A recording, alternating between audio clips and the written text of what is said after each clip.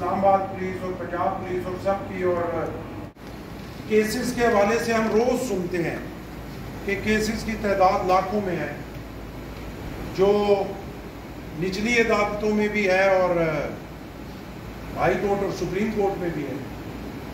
اور لوگ بیچارے دیکھے کھا رہے ہیں۔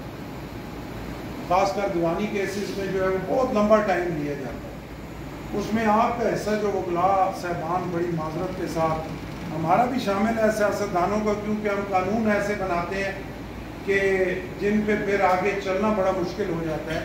لیکن آپ کا بھی ایک بڑا، بہت بڑا حصہ شامل ہے کہ آپ تاریخی بھی بہت اور،